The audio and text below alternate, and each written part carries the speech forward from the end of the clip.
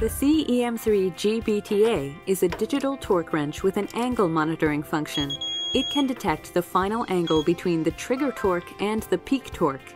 The Bluetooth transmitter allows duplex communication for sending data and receiving parameter settings by wireless command from an external device. Monitoring peak torque and the final angle helps to eliminate tightening errors or abnormal operation during tightening or measurement. Each torque and angle parameter can be set directly using the keypad.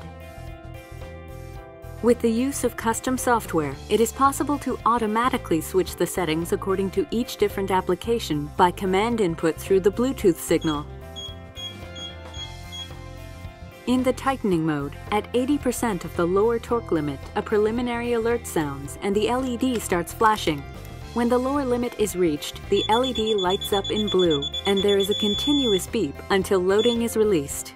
If the torque and angle fall within the upper and lower control value, the wrench displays an OK judgment result and outputs the data by Bluetooth signal to an external device. By monitoring the tightening angle, this wrench can detect double tightening and gives an NG judgment even if the tightening torque was within the control value. It is also possible to detect abnormal tightening caused by the tightening work components or screws. Compared with the part on the left, which was previously tightened, this part was tightened with almost the same torque, but the tightening angle was greatly different, so the wrench judged the tightening as defective.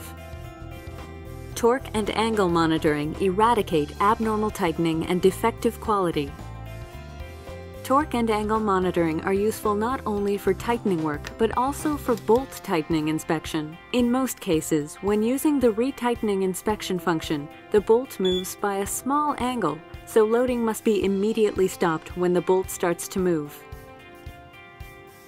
So, the angle data can be used as evidence to verify whether the inspection has been conducted correctly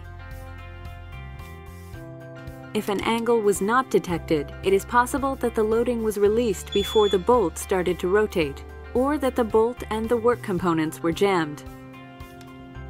With the CEM3 GBTA angle detection function, you can establish a highly reliable torque control system